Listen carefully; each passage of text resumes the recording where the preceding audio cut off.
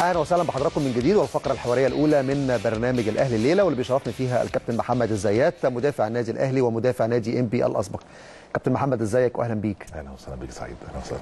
طبعا بقالنا كتير ما تقابلناش لكن آه، الفترة الأخيرة أنت كنت مختفي شوية. آه شوية. يعني بتحضر بقى انتقالات الصيف الفترة الأخيرة. يمكن برضه عايز أقول لكم حاجة مهمة جدا. كابتن محمد الزيات من الناس اللي مهتمة جدا بفكرة آه، وكلاء اللاعبين وبيشتغل في هذا المجال من فترة طويلة جدا. وليه آه، أسلوب مختلف لأنه هو دايما بيروح لمنطقة شرق آسيا وبيروح لآسيا أكتر مش موجود أكتر في في الدوري المصري. يعني دايما ليه توجهات كده في فكرة المدربين اللي موجودين في آسيا أو حتى في إفريقيا وبعيد شوية عن المجال في الدوري المصري ليه أهداف بعيدة شوية وشغال في هذا المجال بشكل آه، متميز. رحت أنت المدرسة بعيدة ومنطقه بعيدة؟ فعلا. لا وشغال الحمد لله في مصر برضه بس بره أكتر وهتسمع إن شاء الله قريب على ممكن لعيبة صغيرة تطلع بره مصر إن شاء الله. بإذن الله يكون في كوادر الفترة الجاية تلعب في. دوريات كويسة. إن شاء الله هيحصل. إن شاء الله. طيب. في كذا موضوع كده وربنا إن شاء الله يكرم إن شاء الله. الشغل في آسيا أسهل من أفريقيا؟ هو الشغل في كل حتة بيعتمد على آه، المنتج اللي في إيديك. هو في الشغل سهل وشغل صعب. في أماكن فيها الشغل صعب. بحكم أنت عارف المواضيع اللي جوه آه. الانديه لكن في أماكن بيبصوا للمنتج اللي في إيديك. لو منتج كويس هيبصوا له هيقدروه بالذات في أوروبا. بالذات في أوروبا. آه. أوروبا بيقدروا جدا آه، لو معاك حاجة كويسة. طيب إيه أكتر حاجة افتقدتها أول ما خرجت من النادي الأهلي؟ آه، افتقدت طبعا حاجات كتير قوي. افتقدت ال- آه، روح الجماعه طبعا كان معاك تيم كامل. تكلموا بعض وتشوفوا بعض كل يوم. فكرنا كده بالجيل مثلا. أنهي جيل بالظبط؟ السنة لعبت في أربع فرق. ما أنت أول ما اتصعدت من الشباب. كان جيل كان الجيل معايا في الأهلي. كان كاب... طبعا هقول كبا... كابتن وهقول اسامي آه،. آه يعني كلهم كباتن طبعا فوق دماغي. آه ولي صلاح آه الدين هادي خشبة ياسر ريان. آه طبعا كان معايا لعيبة كتير صغيرة. كان أمير صغير ساعتها حسام غالي رضا شحاتة أحمد مسلم آه، حسين أمين محمد جوده كتير. كتير آه. كتير. هادي خشبة طبعا كابتن هادي خشبة طبعا. علي ماهر. تمام. تشيرنو لو تفتكر. آه طبعا. كان لسه جاي من القناة كان مكسر الدنيا. آه كابتن عصام حضري طبعا. الجيل اللي هو بتاع 2000 لغاية 2003 أو 2004 كنت أنت لسه صاعد من فريق الشباب؟ آه قعدت طول المدة دي موجود في الفريق الأول. فلو قعدت أقول لك أسامي كتير. الجيل اللي بعديه بقى؟ ما جه بعد كده أفيلينو وجيلبرتو وبعد كده جه آه، اسمه فلافيو. فلافيو آه. مم. أنا أنا جيت أنا مشيت من الأهلي وكان كابتن أبو تريكة لسه جاي. س... آه، ست يناير شهور. يناير 2004 قعدنا ست شهور مع بعض وكده قبل ما أمشي كان كابتن بركات جه بقى وعماد النحاس ورامي عادل و... انضموا معانا في التدريبات عادي خالص بس كانوا هيشاركوا في أول الموسم اللي بعديه بس كان حظك سيء في الأربع سنين اللي طلعتهم في الفريق الأول من بداية 99 لعبت. 2000 لغاية 2004 لعبت والحمد لله لعبت في الأول وطلعت طلعة كويسة جدا بس وشاركت. الإصابات هي اللي عطلتك. آه. اتصبت آه. وكمان إحنا كان كان عندنا يعني موضوع غريب شوية على سننا. أنا كنت في منتخب الشباب. فكان منتخب الشباب معسكر دايم طول الوقت. يعني إحنا بندخل. النادي آه طول السنة. بنروح على النادي في الماتشات ال- الرسميه أو ماتشات اللي هي ال- السن بتاعك وترجع تاني المعسكر بتاع المنتخب. ففي الفرقة الكبيرة اللي زي الأهلي أنت مش موجود في غيرك موجود هيركب وهيلعب مش هيستنوك. أنا لو كنت موجود في ساعتها في في الفريق الأول كنت ممكن أشارك بصفة أكتر. بس طبعا المنتخب كان ساعتها بيشارك في كنا هنشارك في كأس الأمم وخدناها الحمد لله ورحنا لعبنا بعد كده كأس العالم. كنت ساعتها مع الكابتن حسن شحاتة. آه كنت في سعيد يوسف. والكابتن إسماعيل يوسف. الجيل اللي كان موجود آه، 2003 2001 ومن أول 2000 لغاية 2003 من آه, 2000 ل 2003 آه. كان انتهت بكأس العالم في الإمارات. آه فعلا. طلعنا آه. خسرنا من الأرجنتين بالهدف الذهبي. كان جيل جامد يعني. طيب إيه اللي افتقدته بقى في الأهلي لما خرجت؟ أنت قلت لي روح الفريق روح الجماعة بتاعت الفريق. الأهلي فيه حاجات كتير قوي صعب تلاقي في أي نادي بس أنا برضو دخلت منظومة شبيهة للأهلي لأن كان كان تقريبا اللي بيعمل كل حاجة وقتها كان الكابتن علاء عبد الصادق آه، إنسان آه، يعني كان عامل منظومة محترمة في نادي إنبي.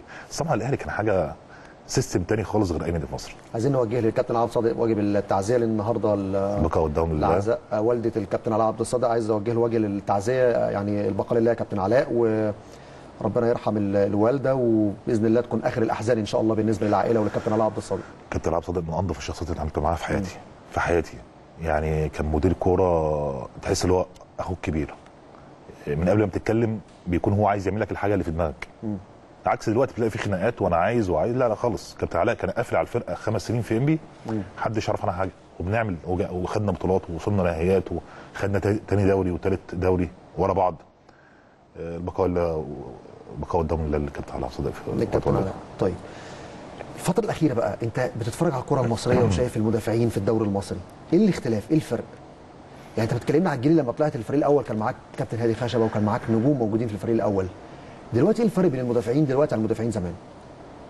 الالتزام الخططي والتكتيك طبعا اتغير تماما. يعني آه، ال ال نوع التدريبات آه، بقى فيه في كل فرقة محلل فني بيدرس الفرقة اللي قصاده. آه، الكرة اتطورت. والكرة اتطورت خلي بالك بره قلت لك الحلقة اللي فاتت عن مصر كتير. شفت ماتش جنوب أفريقيا الودي ال- ال- بتاع المنتخب الأولمبي؟ أكيد أه طبعا. الفرقه مش شايف فيها حد مثلا بيلعب بره في أوروبا أو مكسر الدنيا عن غير بكماني مثلا أو أو عشان مع كان بيلعب في الأهلي أو كان آه موجود في الأهلي. اتنين تلاتة كويسين بس بس المنتخب عنده التزام تكتيكي وخططي مش طبيعي. جنوب أفريقيا كلها بقت كده. حتى ماتش جنوب أفريقيا مع منتخب مصر اللي خلص 1-0 ليهم. في بطولة الأمم. هم ماسكين مننا الملعب مع إن إحنا أحسن منهم في الأفراد بس هم عندهم الجزء الخططي بقى عالي فيه. بشكل كبير. بقى عالي قوي آه. واديك شايف صن- داونز بقى عامل إزاي في في في البطولة الأفريقية؟ فرقة كويسة وماسكة نفسها. ما ما يمشي منها لعيبة أو يجي لعيبة فرقة كويسة. بتوصل. فده الفرق بيننا وبين اي أي آه، آه، مكان بره بالذات في أوروبا. ال ال الالتزام الخططي والتكتيك والتطور في في الاهتمام بكل النواحي اللي شاملة الكورة آه، متأخر شوية في مصر. متأخر شوية في مصر. آه طبعا. آه. آه طبعا. المدافعين زمان أنتوا كنتوا بتلعبوا برضه كان في جزء خططي وتكتيك الجهاز الفني كان بيديكوا تعليمات فيه بس كانت عندكم أريحية أكتر في التحرك وفي ال- التحرر حتى في التحرك من الدفاع للهجوم؟ لا لا خالص لأن كنا خلاص دخلت 4 4 2 مصر فما عادش في ال- ال- التحرر ده. بس الأول كان 3 5 2 فكان ممكن الليبرو يزيد شوية. كان ممكن مساك من الاثنين لو هو حريف أو عنده الملكة يزيد شوية زي إبراهيم سعيد زمان أو أو كان هو أكتر واحد إدى الستايل. المكان ده بالظبط آه. إبراهيم كان وحتى كابتن هادي خشبه كان برضه بيزيد نفس الموضوع. آه، لكن دلوقتي ما أظنش. دلوقتي لو أنت لو الم- المدافع طلع لازم حد يغطي وراه بسرعة يا إما الم- المكان ده هي- هيتضرب. زي ما جون جنوب أفريقيا بالظبط. هو معرض إن هو يطلع. هو معرض إن هو ياخد كرة ويزيد. كان المفروض حد من نص الملعب يغطي مكانه. ما حصلش الكلام ده. كانت دي الثغرة. اللي دخل منها جون آه، جنوب أفريقيا في أمم أفريقيا في مصر. وأنت مدافع كنت بتميل أكتر للمساك ولا الليبرو؟ لا المساك. المساك. مم. بس وجود ليبرو في ظهرك أريحية غير طبيعية. آه طبعا. آه طبعا. عكس دلوقتي. دلوقتي منك لل يعني اللي يفلت منك للجون على طول. آه, آه. لازم يكون في تغطية عكسية من الطرفين. مم. حسب ميل الكورة. يعني الكورة ناحية الشمال لازم ال back right ده يبقى هو الليبرو آه. أو المساك التاني هو الليبرو التاني مش اللي ورايا. هي بتبقى كده زي لو حد اتقدم التاني يرجع خطوة كده. بالظبط، آه. يرجع خطوة لورا. ساعات برضه بيبقى في سرحان في الملعب بيبقى في تعب بتلاقي في أخطاء تكتيكيه طيب تابعت أداء النادي الأهلي في الفترة الحالية. آه. بدأ الدوري بتسع نقاط بثلاث مباريات. شايف البداية إزاي؟ بداية مبهرة. بداية مبهرة. آه مبهرة. بداية بس أنا مش عايز الناس إيه برضه تتخدع في البداية دي. آه ده إحنا قلناه إحنا بنقول حتى لجمهورنا في كل حلقة. آه. لسه لسه لسه الموسم طويل. آه هي بداية مبهرة فعلا وإحنا ما كناش نتخيل ال- الأهلي يأدي بال- بالمتعة دي. آه، لكن لسه الدوري طويل. و... وميزة الأهلي إن هو دايما لما اللي بيطمني أنا إن هو لما بيقع بيقوم بيقوم على طول عكس فرقة تانية. في فرقة تانية لو جات لها وقعه تطول في الوقعه شوية بتطول. كلمة عم حارس الكلمة الشهيرة. فاكرها؟ آه، الاهلي لو وقع. آه. ليه 1000 اومر الموسم اللي فات إحنا كنا الأخير صح؟ وناس كتير فرحت إن إحنا الأخير. خدنا الدوري. والأخير أقسم لك بالله أي فرقة مكان الأهلي أي فرقة مكان الأهلي في ال في ال في ال في القصة دي ما هتقوم. مش بيبقى فيها هتقوم. مشكلة لكن الروح جوه الأهلي مختلفة. ما طلعتش ما طلعش تصريح جوه الأهلي للعيب بيطالب مستحقاته مثلا أو. ما حصلش خناقة مثلا في الفرقة والفرقة فكت. مقفول عليها حتى بعد الخسارة. وبعد ما يبقى في ضغط جماهيري إن المدرب يمشي ما كانوش بيمشوا المدرب. كانوا بيسيبوا. مفيش حد بيطلع تصريح خالص. ده خلى في استقرار جوه الفريق. خلى في احترام للعيبة للمدرب. مش خسرت النهارده ده ممكن يمشي. لا في احترام في سيستم في النادي الأهلي. طيب الشكل الفني اللي بدأ بيه الاهلي الموسم ده السنة دي بتقيمه إزاي أو بتحلله إزاي؟ يعني عايز أسمع تحليلك بقى كلاعب كورة و... وليه خبرات في الملعب. شايف الشكل الفني اللي الأهلي السنة دي إزاي؟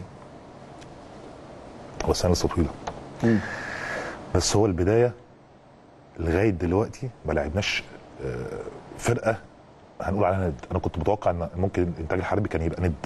آه، الانتاج الحربي من الفرق ماشيه كويس جدا فترة ال- الإعداد. بس الماتش كان الأهلي فاجئ فيه جدا وكان عالمي فيه جدا. عندك سموحة فريق سموحة فرقة قوية جدا. وفرقة سموحة. واحد. الزمالك في السوبر. بس الزمالك السوبر أنت في عندك شوط تاني عيوب. بس برضه ظهرت عشان الاثنين بتوع القلب اتغيروا. الإصابات الاضطراريه أو اللي آه بالظبط. فعلا. بس في الآخر برضه آخر ربع ساعة أو ثلث ساعة آه، لياقة الفرقة كلها نزلت الزمالك لسه بداية الموسم واه آه. فطبيعي أنا بقول لك الموسم لسه طويل. الميزة اللي عندك حاليا فوارق فرديه عندك اثنين فريقين أو ثلاثة فريقين فرديا وفاهمين بعض وهو ده اللي كان بيحصل لما كان عبد الله السعيد موجود. قبل ما يمشي. عبد الله السعيد كان ماشي كويس مع المجموعة اللي قدام. لما مشي بدأت الموضوع إيه؟ عشان ما فيش انسجام. لكن دلوقتي في عندك رمضان صبحي. عندك حلول كتير دلوقتي. بس ما شاء الله آه. فايق جدا. حسين الشحات آه، فايلر حط آه، أجاي forward وده كان مفاجاه من المفاجات وبسم الله ما شاء الله آه، مشي فيها كويس قوي. مظبوط. وفعلا أنت كنت تفتقد ال forward اللي عنده مهارة اللي عنده لمسة. أزارو كان حريف آه، أزارو كان سريع لكن ما كانش حريف. أزارو يفيدك في السرعات لكن ما كانش حريف. وبيهدر فرص آه، سهلة. أجاي لا. أجاي ممكن ممكن يجيله فرصتين يحط واحدة. على الأقل ممكن يجيله ثلاثة يحط واحدة. قصدك عناصر بتكمل بعضها. آه وفاهمين بعض. بدأت ال- ال- الجماعيه في النادي الأهلي تظهر شوية. طيب مباراة الزمالك اللي جاية هي مباراة ليها حسابات خاصة. أكيد. اولا ليك يعني فرصة إنك شارك- شاركت مع الأهلي قدام الزمالك ولا ما كانش ليك حظ لا لا؟ لعبت كتير. لعبت كتير. تتذكر أبرز مباريات القمة بالنسبة لك؟ لا أنا في مباراة كنت هلعبها بس كنت مع منتخب الشباب ساعتها في المغرب. احكي لي طيب. اللي هي 6 1 آه الستة واحد كنت هتلعب موجود المباراة دي كنت ألعبها. آه. 6 1 آه والله العظيم كنت ألعب الإسماعيلي كمان. طب لا احكي لي احكي لي تفاصيلها. يعني أكيد جوزيه محضرك يكلمك و... لا لا كنت في المنتخب. آه. فكان كان في ماتشين آه، هيتلعبوا تقريبا. أنا والله مش متذكر قوي بس هم كلموا الكابتن حسن وكلموا الكابتن إسماعيل. المفروض إن أنا كنت مسافر. بعد كده الموضوع وقف. هم قالوا لي حضر نفسك أنت هتلعب آه، ماتش لا يا ربي كان مش الزمالك كان المحلة في المحلة. آه. المحله في المحله اللي هو ضاع مننا الدوري فيه. ده آخر ماتش في الدوري. لأن الزمالك والإسماعيلي كانوا ورا بعض. تقريبا ما كانش آخر ماتش في الدوري كان لسه في ماتش بعديها تقريبا. هو ده الماتش اللي خسرنا الدوري لأن إحنا خسرنا فيه بنطين فكنت ألعب الماتش ده. ونزلوني نزلت بس جيت لغاية الاوضه كنت لسه جاي من السفر فهم فضلوا لا قال لك لسه جاي من ف ما لحقش. آه لعبوا تقريبا مش فاكر والله. ماتش من زمان قوي لكن ماتش 6 1 وقت ماتش معلق معايا طبعا. لأن إحنا كنا في المنتخب ساعتها. كنا في في, في المغرب فكنا مقسومين اثنين معسكر منتخب الشباب ساعتها. آه, آه, مقسومين. في أوضتين. آه. أوضة الأهلاوية وأوضة الزملكاويه والكابتن حسن للأمانة راجل فير جدا ومحترم جدا. حسن شحاتة من الناس قلبه. أبيض. آه آه هو زملكاوي. شخصية جميلة. زملكاوي لكن قلب- قلبه ابيض يعني عمره ما يشيل من حد عشان هو أهلاوي أو كلام فإحنا بقى لما كان ماتش الاهلي والزمالك قلبنا الدنيا. كنت آه كنت كان مين ساعتها معاك في الفرقة؟ آه. ومتعب والشفيق رامي وعلي صقر وكان معانا حد وكان محمد شعلان وواحد و... آه وفيليكس. بس اللي كان قاعد في الأوضة ساعتها كنت أنا وعلي صقر ومتعب وشفيق رامي تمام. كنا قاعدين في الأوضة فيها. فيعني قلبنا الدنيا شوية وكان حصل مشاكل و... وصوتنا طلع بره و... يعني دي كان- حد من المنتخب. كنت كنت في معسكر فين ساعتها؟ كنت في معسكر فين؟ المغرب كنت في المغرب ساعتها. آه. لعبنا المغرب ثلاث ماتشين ساعتها يعني كانت أيام جميله الحمد لله بس هو ماتش 6 1 ده معلق مع مصر كلها مش معايا أنا. أكيد، طيب. ده ما حدش كان مصدق اللي بيحصل في مباراة أنت لعبتها تانية أهلي وزمالك؟ آه، اتحطيت احتياطي لكن آه، لعبت ناشئين كتير ناشئين، لكن فريق أول؟ لا لا آه، احتياطي بس إحساس اللاعب في مباريات كبيرة زي دي بيبقى عامل إزاي؟ يعني أنت دخلت معسكر بص اللعيب اللعيب اللي بيخش النادي الأهلي أي ماتش بالنسبة له هو ماتش كبير ده حقيقي آه والله مش مش مثلا زمالك أو لا النادي الأهلي انت الحركة محسوب عليك. الاهلي بيدي المنافس حقه وبيدي المباراة أهميتها ايا كان مين اللي هيلعبه. كل ماتش انت بتتفرج عليه جماهيرك. صح. لأن يعني الجماهير بتاعت بتاعت النادي الأهلي بتموت في حاجة اسمها النادي الأهلي. فماتش الزمالك كلاعب كورة هو هو الثبات الانفعالي. ماتش آه، مثلا إنتاج أو مصري أو إسماعيلي أو الثبات الانفعالي. وده اللي بيفرق أوقات كتيرة جدا. الأهلي بيبقى- بي- بيبقى وحش وبيجي قدام الزمالك بيعمل نتيجة. حتى هو وحش. المباراه بيقول لك لها حسابات خاصة. لأن لأن زي ما بقول لك الأهلي بيبقى عنده ثبات انفعالي لعيبة الأهلي عندها إحساس بال بال مش هو... يعني مش عايز أقول كلمة كبيرة شوية. بقيمة المباراة وأهميتها لدى الجمهور بقيمة بالذات. الأهلي بقيمة نفسه. آه. إن هو قادر يكسب وإن هو قادر يفرح الجماهير. وهو متعود على المكسب.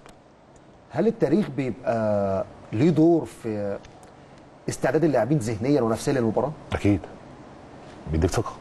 بيديك ثقة. طبعا. طبعا. انت عشت الأجواء بقى كنت جوه فرقة الأهلي وعارف التفاصيل الصغيرة ديت. طبعا.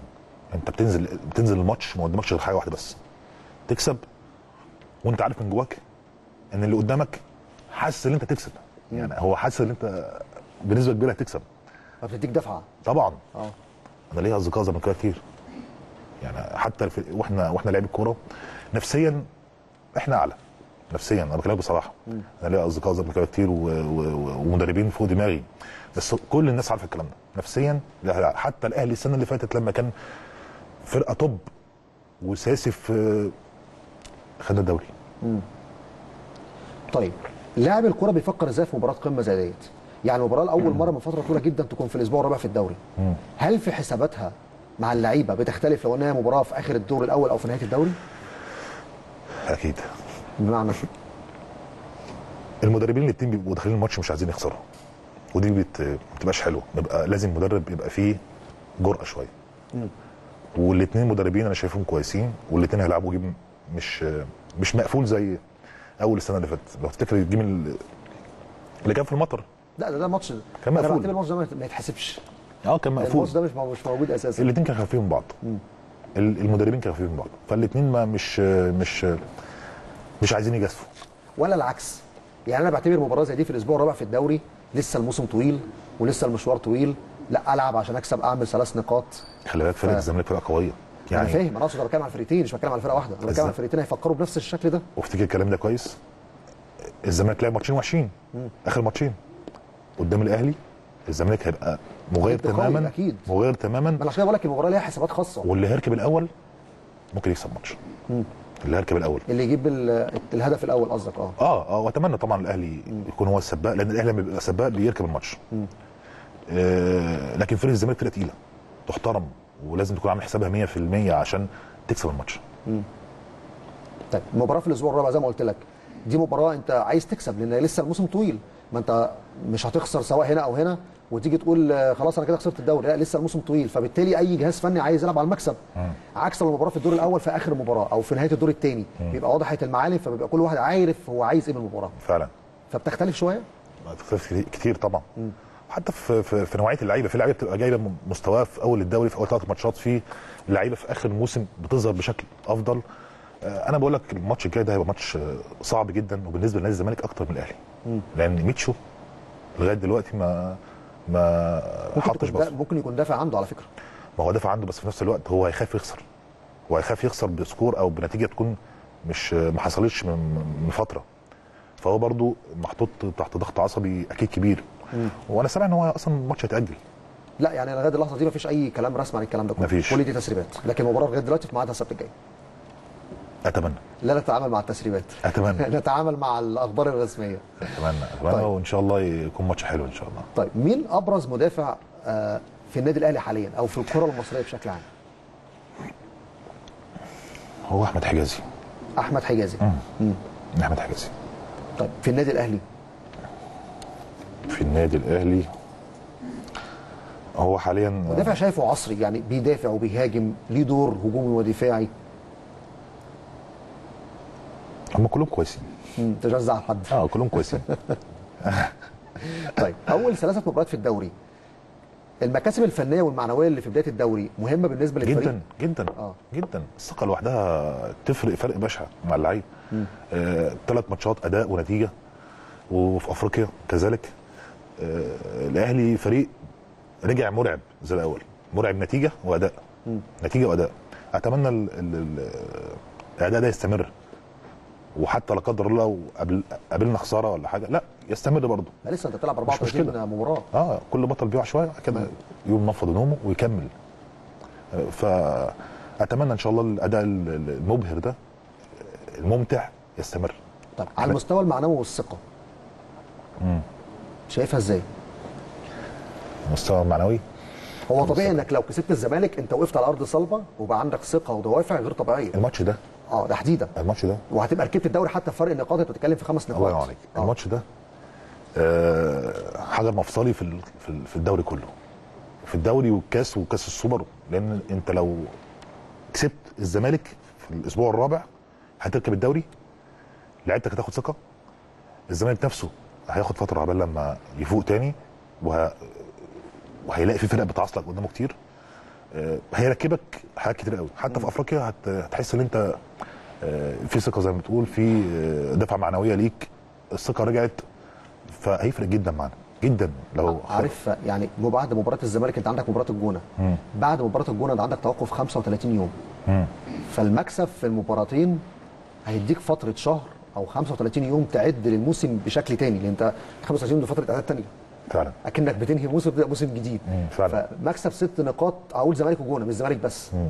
بتخلي لك أنت كفرقة بتشتغل للفتره اللي بعدها بصورة مختلفة. أكيد. والفترة اللي بعدها بداية مشوار إفريقيا كمان. أنا نفسي الأهلي يدعم. بافارقه محترمين يليقوا بالنادي الأهلي. ما أنت عندك من عندك مباراة القمة. كان اجاييه كان حلقة ال- بص اجاييه لعيب كبير لعيب كويس قوي بس اجاييه في اللي أحسن منه. في اللي أحسن منه. أنا بكلمك بصراحة. لعيب كويس. بس شفت انت مثلا اللعيب اللي هو راح العين الإماراتي ده ده كان فري. آه لابا كوجي آه كان آه. free. وبسم الله ما شاء الله في كل الإمكانيات اللي, اللي تساعد أي فرقة على النجاح. كان free. كنت ممكن تجيبه. آه في أماكن انت لسه عايز تستفيد منها من المحترفين. كم محترف في الملعب دلوقتي. بس انت عندك هقول لك على حاجة. عندك علي معلول؟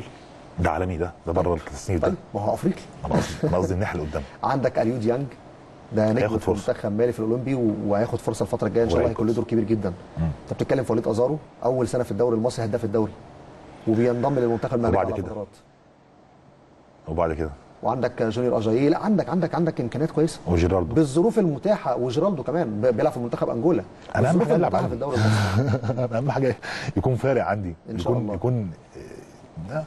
بس آه، أنا نفسي الأهلي يجيب مهاجم عصري.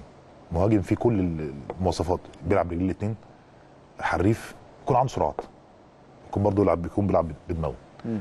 آه، قعدنا فترة مع أزارو أزارو لعيب كويس لا جدال بس هو كان قرص على نفسه السنة الأولانية بتاعت الكابتن حسام بدري.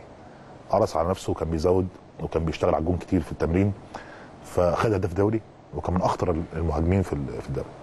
هو عاش على السنة دي السنة اللي فاتت. بس ضغط الجمهور ممكن يأثر على أي لاعب؟ لا لا لا. الاهلي لا الاهلي لا الاهلي اللعيب لازم يكون متعود على ضغط الجمهور. لازم يكون متعود. طيب الدوري السنة دي البطولة شايفها هتبقى قوية؟ بانتظام المسابقة هتبقى البطوله قوية فنيا ولا شايف الدوري السنة دي هيبقى إزاي؟ آه، أكيد قوي. أكيد قوي. وكل سنة عن سنة بتبقى أقوى خلي بالك. إن المجال في مصر بقى مفتوح جدا. لو في لعيب في آخر الدنيا ولعيب كويس وبيلعب في الدرجة الثالثه مثلا في الصعيد هتلاقيه السنة اللي بعدها بيلعب دوري ممتاز. عكس الأول. لو كان أربع خمس فرق هم اللي فيهم لعيبة كويسة والباقي بيعافر والباقي اللي هم الجماعه اللي تحت بي... اللي بيطلع بينزل. دلوقتي لا. شفت السنة اللي فاتت كان الجدول عامل إزاي في آخر آه، كام أسبوع؟ نص فرق الجدول بتنافس على البقاء. فوق وتحت. آه. مفيش غير فرقة واثنين ماسكين نفسهم في النص. كان المقاولين على ما أعتقد المقاولين والمصري تقريبا. آه. ومن أول الإنتاج الحربي لغاية لغاية الست لغاية الإنتاج 18 استريح بدري. الإنتاج كان طالع من الدور الأولاني كويس. فهو استريح بدري. فقعد حوالي تقريبا سبع فرق أو ست فرق تنافس لغاية آخر يومين ثلاثة ده حقيقي. فده قوة قوة للدوري. حتى المقدمة. الدوري حتى لو في الهبوط مش في السو... في ال- حتى في المقدمة. كان. أهلي وزمالك وبيراميدز. محدش كان عارف مين اللي ياخد دوري. ده حقيقي. مم. طيب ال... عدم انتظام المباريات وتوقيتاتها ده ممكن يأثر بالسلب؟ أكيد. رغم إن خد بالك أنت قلت السنة اللي فاتت الموسم كان قوي رغم إن ما كانش فيه انتظام في المواعيد. أكيد. أكيد. انت عندك الدوري الإنجليزي أنت ممكن تحجز دلوقتي لماتش. تظبط الساعة آه. على مواعيد المباريات هناك. ممكن تحجز ماتش بعد خمس ست شهور الساعة الفلانية. أنا حاجز التيكت أهو جاي. وتروح تلاقي كل حاجة مفيش حاجة اسمها بقى أجلنا الماتش ده عشان منتخب إنجلترا بيلعب في تصفيات. أم- لا مظبطين حالهم من الأول وأنا نفسي مصر تبقى كده. نفسي مصر يبقى فيها system آه، احترافي عالي. أنا عايز أقول لك إن دول كتيرة سبقتنا السعودية سبقتنا الامارات سبقتنا المغرب سبقتنا يعني مش عايز أقول تونس لأن تونس برضو نفس الوضعية بتاعتنا. آه، بس هم عندهم يعني شوية برضو فرق آه، كتير قوية في, تونس. عكس هنا. هنا أنت بقى عندك ثلاثة هناك عندهم خمسة أو أربعة. طيب آه إيه أبرز التحديات اللي ممكن تواجه ال- الدوري السنة دي أو الفرق بشكل عام؟ إيه أبرز التحديات؟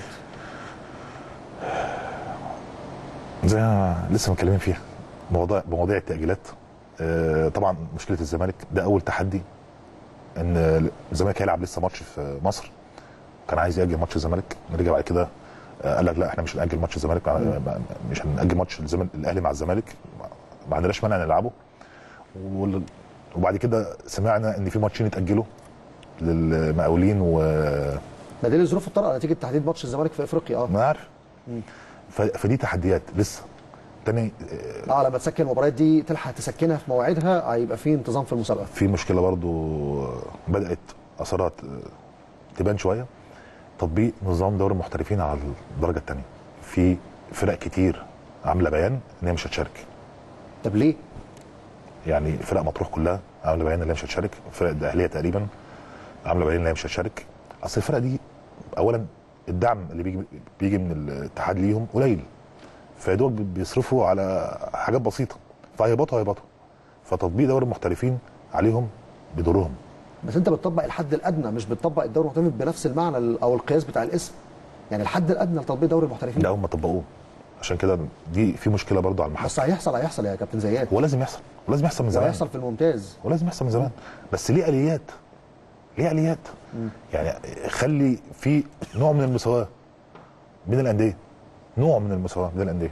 عشان حتى كل نادي يقدر يعبر عن نفسه في الدوري. بس في دول لما جيت طبقت دوري المحترفين على الدرجة الأولى كانت دوريات مثلا حوالي 16 نادي أو 18 نادي. لما جيت طبقت دوري المحترفين تقلص عدد الفرق ل 12 ومحدش عشان- اعترض. عشان الكلام ده حصل في الخليج الكلام ده حصل في شمال إفريقيا. في دول بت... في... لانك لازم تلجأ لده لازم تروح لده. إحنا تقريبا عندنا في الدوري ناديين أو ثلاثة هم اللي ما انتش تلعب دوري بنادي إيه ما أنا عارف هم اللي هم اللي يعني عملوا الإجراءات دي وخلاص آه، مخلصينها من بدري بس بالظبط. كل سنة بيسوفوا عندنا. طب إيه المطلوب من الجماهير الفترة الجاية؟ الجماهير بشكل عام جماهير الكرة المصرية بشكل عام. مطلوب من الأمن يفتح الباب للجماهير تخش. هو ده المطلوب. الجماهير بتعشق حاجة اسمها كورة. الجماهير هي شريان الحياة وهي روح الكورة أساسا. فلازم هو. الأمن المصري مشكورا. على الأقل يسمح ب 10 15 واحدة واحدة عندك الأندية الجماهيرية زي الاتحاد والإسماعيلي والمصري الناس دي. بتاكل كورة تعيش كورة إحنا بنشوف صورة كويسة في البطولة العربية في البطولة الإفريقية السوبر لما كان أهلي وزمالك فيه 5000 هنا و5000 هنا كان في صورة كويسة معقولة آه طبعا. آه, آه طبعا لازم نستفيد من الجماهير يعني دخول الواحد للماتش ده في حد ذاته بالنسبة له ده نزهة نزهه وخروجة آه،. وبيخلصوا من الاسترس العصبي في حاجات كتيرة في أمور الحياة. فلازم يكون في توجه للدولة إن يفتحوا الباب للجماهير. وقانونوها مش مشكلة بس افتحوا. طيب لو بنتكلم بقى في الزمالك إحنا طبعا بنقول الأهلي الأول إن هو صاحب الملعب وهو صاحب المباراة. تمام. لكن العوامل الفنية هنا وهنا مين يرجح كفة الأهلي ومين يرجح كفة الزمالك؟ لو أنت بتعمل قياس للفرقتين. هو في مشكلة دلوقتي في الزمالك؟ حتى لو مش في أسماء لعيبه لا في خط الوسط خط الدفاع خط الهجوم. هو اساسي مش في مستواه. اساسي بقى له فترة بعيد عن مستواه. هو طارق حامد طبعا من اللعيبه الموجوده في اللعيبه الموجوده في مصر. إن إن ما كان أحسن لعيب موجود في مصر. شوف أنا راجل أهلاوي بقول لك. طارق حامد من أحسن اللعيبه الموجوده في مصر. وأرجل اللعيبه الموجوده في مصر. آه لكن إحنا الحمد لله برضو عندنا السولية عندنا حمدي فتحي. آه اتنين برضو لعيبة عاليين جدا. حمدي فتحي.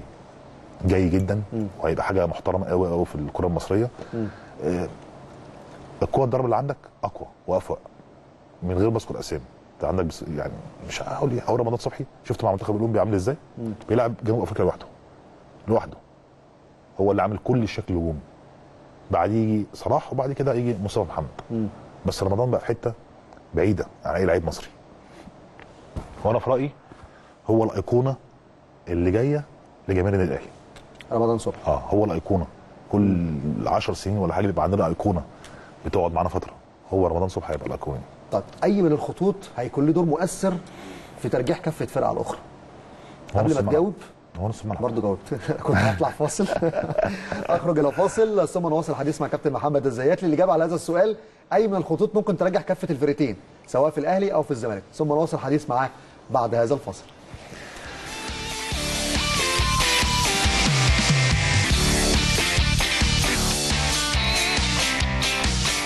أهلا وسهلا بحضراتكم من جديد واستكمال الفقرة الحوارية مع الكابتن محمد الزيات. كابتن زيات كنا بنتكلم بقى في آه، ترجيح آه، كافة خطوط في الأهلي عن خطوط في الزمالك. تمام. كنا بنتكلم في خطوط آه، في النادي الأهلي سواء خط الوسط أو الدفاع والهجوم والزمالك نفس الأمر. لو بنتكلم في الأهلي آه، كافة أي خط ممكن تكون هي اللي ليها الغلبة إن النادي الأهلي يكون متفوق وليه الغلبة في هذه المباراة؟ الخط الأمامي. اللي هو وسط الملعب الهجوم ولا ال... آه نص الملعب الهجوم والمهاجمين اللي عندك. تمام. طيب. وصلنا لمرحلة تجانس وفاهم. تكملة، آه. بيفهموا بعض بالاشارات دلوقتي. تمام. عندك الجنب الشمال معلول ورمضان صبحي جابها نار. نار بسم الله ما شاء الله. آه، الشحات رجع. آه، ثقته ثقته في نفسه آه، افتكر نفسه بتاع زمان. خلاص رجع. عاش الأجواء بقى ودخل. خلاص دخل. اجاييه زي ما قلت لك إحنا كان ازار مشكلتنا معاه في تضييع الأهداف السهلة. اجاييه لا ما بيضيعش أهداف سهلة. ممكن يجيب. يعني من ثلاثة يجيب اثنين فاحنا في في الجانب ده نتفوق على ال- الزمالك في التجانس وفهم اللعيبة. هم عندهم برضه لعيبة كويسة. عندهم مصطفى محمد عندهم أشرف بن شرقي عندهم أوناج عندهم آه آه اسمه إيه أوباما. آه طب في الزمالك أنهي خط ممكن يكون ليه الغالب إن هو يرجع كفة فريقه؟ الخط الهجوم اللي ذكرته مصطفى وأوباما وبن شرقي لو فايق؟ ولا خط الدفاع؟ لو فايق آه. نص الملعب. نص ملعب الزمالك. نص ملعب الزمالك. طارق حامد وساسي. بيكملوا بعض. بيكملوا بعض جدا. انت بتتكلم عن المباراة ممكن تكون طبعا هي مباراة كرة قدم بس بتتكلم عن مباراة هتكون معركة في وسط الملعب. بس اللي يعني اللي في عز ما كان ساسي مستواه عالي حمدي فتحي عمل على الماتش كويس حمدي فتحي تألقه مع المنتخب على فكرة ممكن يديله عنصر مكسب مكسب فات. مكسب مهم جدا في آه. مباراة الزمالك. آه. آه مكسب الماتش اللي فات. فأتوقع هم لو فايقين في المنطقة دي اللي هي نص الملعب هيبقى ليهم الغلبة لكن ما اتوقعش طيب حمدي فتحي إيه الدور اللي بيقوم بيه في وسط الملعب؟ حمدي بيجمع بين ال- ال- الناحيتين الدفاعية والهجومية وهداف كمان. يعني بيزيد في كره عالية ممكن يحرز أهداف براسيات زي ما شفت في ماتش مصر كمل في كوره حطها. ده غنيم ده منهور على فكرة بيتميز باللعبة ديت. ويمبي. آه، كان وإنبي. على طول بيطلع آه. يحط الوان بيهده فحمدي آه، زي ما تقول كده آه، نص ملعب عصري. بوكس تو بوكس بس الناحية الدفاعية عنده عالية. ودي ميزة؟ طبعا. ميزة مهمة جدا آه، أكيد طبعا. طبعا. عايز تفسد هجمات أي فرقة قدامك. يعني السوليه لما كان في الإسماعيلي كان عنده الناحيه الهجوميه عالية عالية. آه وكان بيشوط وبيسدد. وكان بيروح بيرقص لما جه الأهلي بقى بيركز في الناحية الدفاعية أكتر من الهجومية شوية. وفرق جدا مع الأهلي طبعا السوليه طريقة اللعب بتحتم عليك إنك بتلتزم بالتعليمات؟ آه طبعا. آه طبعا. وما ينفعش الاثنين يزيدوا. لازم واحد بس يزيد على الأقل. ف لكن بالنسبة بقى لخط الظهر في ال... أنا شايف المستوى متقاربه سواء في الأهلي وفي الزمالك الاثنين قريبين من بعض. آه. إحنا بس نفرق عنهم ب معلول. بعلي معلول. في تكملته الهجومية مع الشق الدفاعي. ودايما بيبقى في مباراه جانبية بينه وبين النقاز. على طول بيبقى في ماتشات جان- جانبية بينهم وبين بعض. حوار تونسي خالص بينهم. آه. بالظبط كده. طيب في جزئية برضو مهمة جدا عايز أتكلم عليها. فكرة الاثنين المساكين في النادي الأهلي بتميل لأي كفة؟ إنك تلعب بياسر ورامي ولا شايف في ثنائيه تانية ممكن تكون آه ياسر وأيمن؟ هو هو رامي لسه راجع من إصابة من فترة يعني بس فترة. يعني خلاص بقى ثابت في مكانه بقى ماشي بشكل كويس. أنا عايز أخد بقى رؤيتك في المكان ده بما إنك أنت راجل مدافع ولعبت في الأهلي فترة طويلة وكنت كمان موجود في إنبي وليك خبرات في الدوري المصري. الثنائيات في خط الدفاع. الاثنين بيكملوا بعض ولا أنت عايز اثنين بنفس المواصفات؟ لا الاثنين بيكملوا بعض. بمعنى إيه؟ مش لازم الاثنين يبقوا نفس المواصفات. اشرحها لي طيب. يعني آه، لو أنت هتلاعب واحد سرعته مش عالية لازم اللي جنبه يبقى سريع. آه، لو هتلاعب واحد في كرة عاليه مش آه، مش عالي زي أيمن أشرف هو جنبه عالي. لكن في الكرة العالية ممكن لعيب طويل لأن هو قصير مش طويل. ما يجيبش جنبه ما يجيبش الكوره مثلا. زي خالد بوطيب لو نزل. مثلا. هيقرفه في الكرة عالية. فلازم معاه واحد طويل. أقل جنبه واحد طويل فبتكمل بياسر أو رامي مثلا؟ مثلا. آه. مثلا. أنا ياسر بيعجبني بصراحة. ياسر كمساك كويس. كويس و- وهيجي مع الأهلي مع مع الوقت. هي- هيعلى جدا مع الأهلي إن شاء الله. تمام. ورامي برضه لعيب كويس. بس رامي مشكلته في الإصابات. رامي من غير إصابات كان هيبقى حاجة كبيرة كتير قوي آه، للأسف. كان. حاجة كبيرة قوي آه. ورامي متأسس. يعني رامي عنده قوة بدنية مش طبيعية.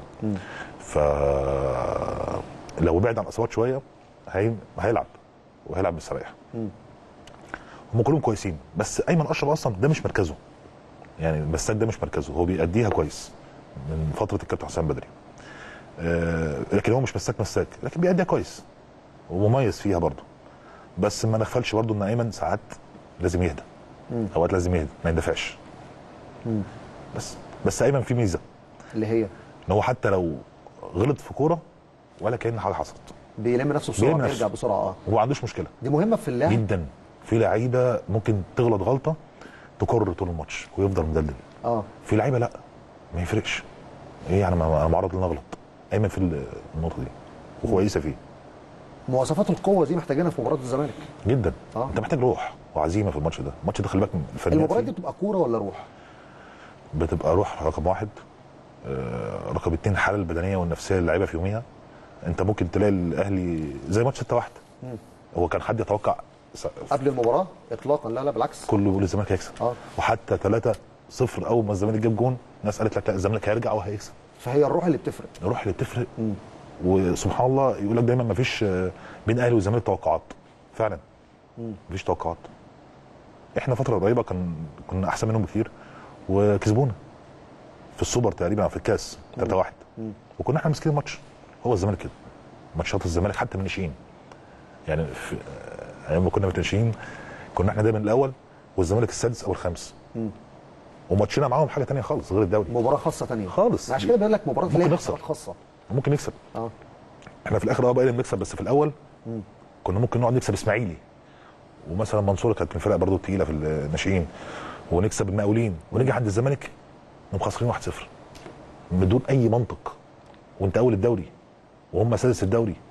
بس هو سبحان الله ماتش جماهيري بقى وتلاقي فيه لعيبة في الجماهير بت... بتقلق. ما بس طبعا في الناشئين غير في الأول في الأول أنت بتكون مختار لعيب على الفرازة. عارف ثباته النفسي وعارف آه، آه، قوته عاملة إزاي وإمكانياته الفنية عاملة إزاي.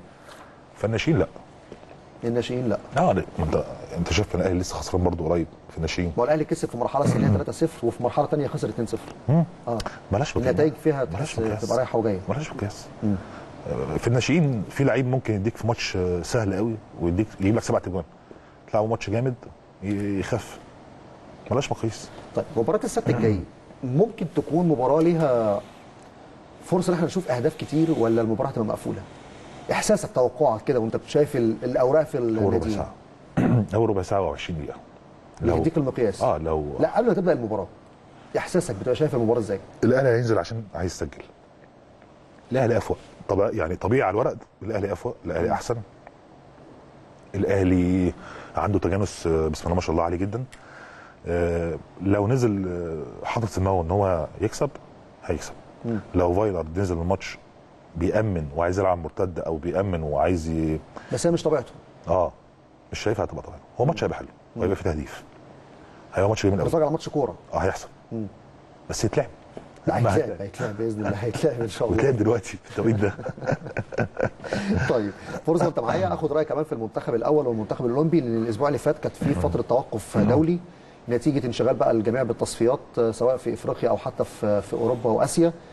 وعلى المستوى بالنسبة لمنتخب مصر طبعا مصر ما بتلعبش تصفيات دلوقتي لسه التصفيات الشهر الجاي.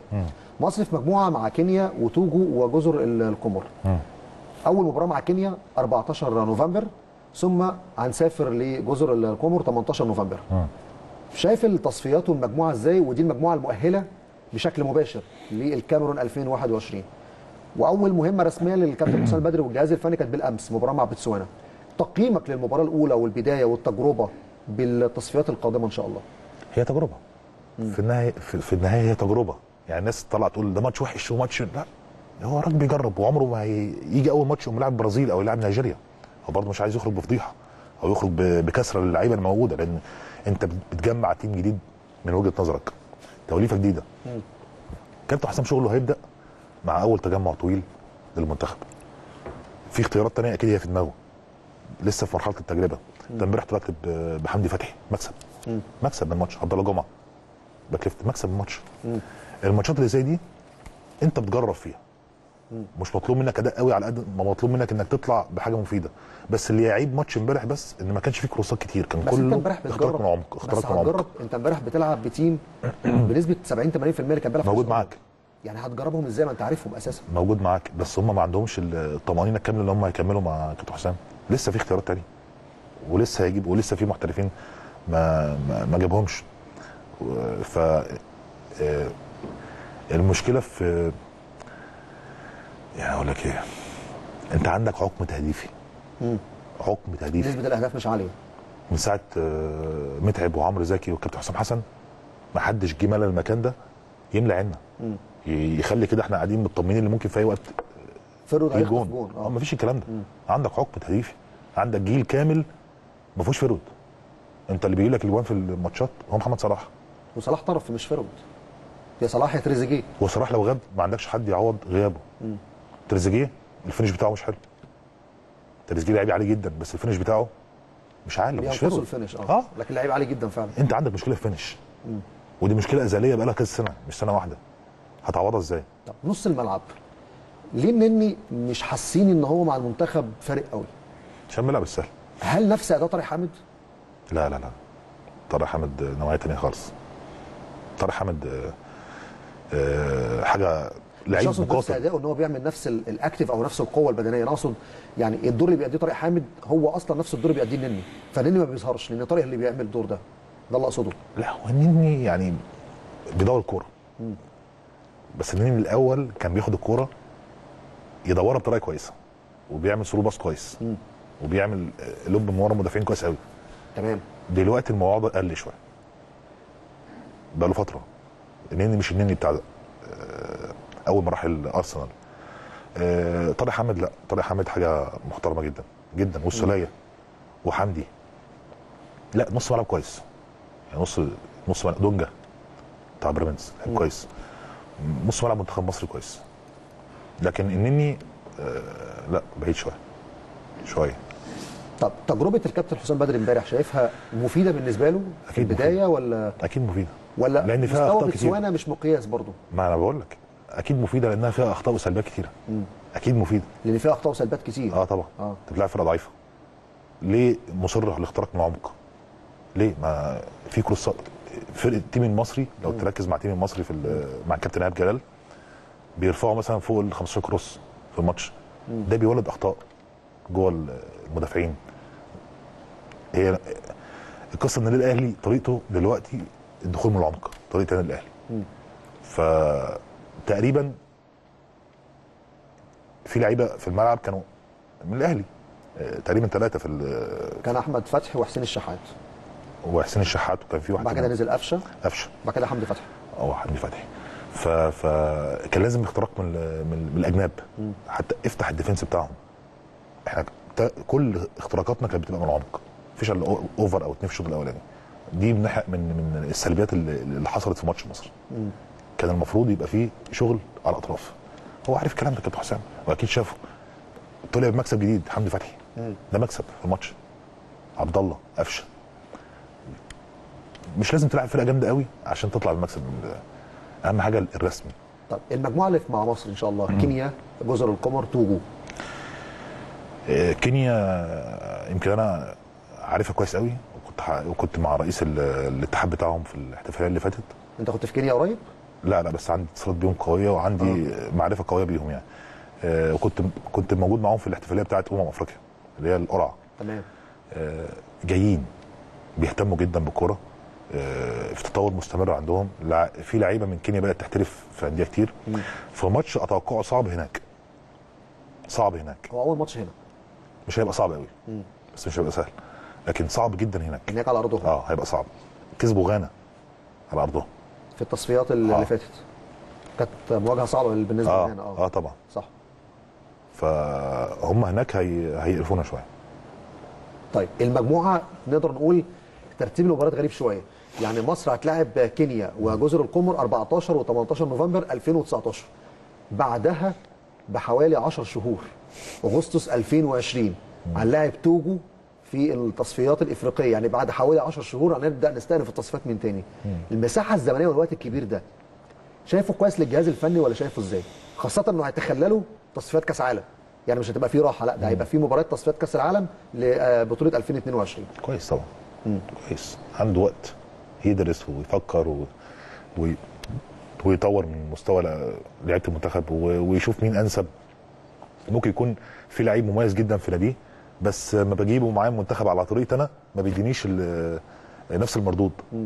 ممكن لعيب تاني يديني نفس المردود وممكن يكونوا أقل منه نجومية. دي المعادلة اللي ممكن الكابتن حسين يكون يحققها في ال- في, ال- في, الوقت, في الوقت ده. تمام. طيب تصفيات كأس العالم هتبقى هي المقياس بالنسبة للمنتخب ولا البطولة الإفريقية اللي استعدت ليها هيبقى من خلال الماتشات ديت؟ يعني عايز أربط بس فكرة إيه؟ أبدأ أشوف المنتخب بجد بقى وأقيمه لما يخش في تصفيات كأس العالم. ولا التصفيات دي ممكن تكون مباريات نبدأ نقيم ولا هتبقى استعداد لتصفيات كأس العالم؟ أي ماتش رسمي بتخشه بيبقى معرض للتقييم طبعا. معرض للتقييم. أنت لو خسرت آه، كارثه فهو لازم نصبر شوية مع كابتن حسام. لازم. لازم يبقى في صبر. كابتن حسام آه، الناس ما تستعجلش في الأحكام آه بسرعة. ما تستعجلش. ادوا له مساحته. وإن شاء الله هيبقى منتخب محترم. إن شاء الله. أنا واثق كابتن حسام مدرب كبير وهيبقى إن شاء الله. بإذن شاء الله. طيب على الجانب الآخر واختم معاك بالمنتخب الأولمبي. و يعني خلاص بنتكلم في أيام قليلة وتنطلق التصفيات الإفريقية المؤهله لدوره طوكيو والبطولة على أرضنا. مصر معاها مالي والكاميرون وغانا. مجموعة قوية جدا. جدا. وكان الله في عون الكابتن شوقي غريب لأن معاه مجموعة فعلا مجموعة صعبة وقوية جدا بالذات في المرحلة السنية دي المنتخبات دي. قوية جدا جدا جدا, جداً. لكن منتخب مصر برضه منتخب قوي. جدا. عنده امكانيات ولاعيبه كلهم بيلعبوا دوري ممتاز. ولو قلنا الأسامي يعني إن شاء الله محمد محمود النادي الأهلي يرجع قريب بإذن الله يكون جاهز للتصفيات. هو مستنيه يلعب ماتش بس. يلعب بس ماتش هياخده على طول. محمد محمود كريم نيدفيد أيضا كمان لو لحق أو لعيب جامد طبعا. أكيد. ربنا يشفيه. عندك كمان صلاح محسن عندك مصطفى محمد عندك طاهر محمد طاهر عندك رمضان صبحي. جدا. منتخب قوي جدا. جدا. بس المنتخبات. الثانية قوية جدا برضه. آه. اللي هيفرق بين ده وبين ده تجانس. تجانس الفريق. تجانس الفريق بس. يعني فرقه جنوب أفريقيا أنا بقول لك فرقة مش ما فيهاش نجوم. اللي لعبناها مباراتين وديتين آه. ما فيهاش نجوم. بس عندهم تجانس وعندهم التزام تكتيكي وخطط واضح وده اللي انت كنت مفتقده في الماتشين. انت كان عندك الثلاثه اللي قدام في وادي والفرقة كلها في وادي. ماتشات المنتخب الأولمبي. بس الثلاثه اللي قدام فارقين معاك قوي عاملين شغل عالي قوي لكن في البطولة دي اللي هيمشي كويس هيمشي كويس هيكمل. بتبقى دفعة معنوية ليه. فأتمنى أول ماتش نكسبه على الأقل. كسبناه ممكن نعمل أول مباراة مع. مالي. أقوى مباراة. أقوى مباراة. من وجهة نظري مالي دايما عندها أحسن ناشئين في العالم. في في أفريقيا. في المرحلة السنيه الصغيرة دي في آه أفريقيا. دايما على طول آه، حتى في- في كأس عالم مثلا ناشئين ممكن ياخدوا كأس عالم ناشئين. آه. يوصلوا نهائي. ياخدوا ثالث مستوى ثابت بقاله فترة في في الناشئين والأولمبي والشباب. منتخب مالي. طيب قيمت تجربة مصر وجنوب أفريقيا إزاي؟ يعني جنوب أفريقيا موجودة في البطولة بس في مجموعة ثانية لكن قيمت أداء منتخب مصر مع الكابتن شوقي غريب في المباراة إزاي؟ هم عملوا كذا معسكر قبل كده خارجي. المفروض الكابتن آه، شوقي غريب كان يعني إيه؟ كان يبقى أداء أحسن من كده شوية بصراحة. بصراحة. بس team جنوب أفريقيا team تقيل. مش team آه، مش team خفيف. آه، أتمنى يبقى إحنا صورتنا في البطولة أحسن من كده. إحنا عندنا أحسن من كده. وال- وال- والجهاز الفني جهاز فني تقيل تقيل قوي. في خبرات في محمد شوقي وفي وائل رياض. آه كابتن شوقي غريب ومعتمد جمال. ومعتمد كمان. ومحمد شوقي ورياض أسامي تقيلة.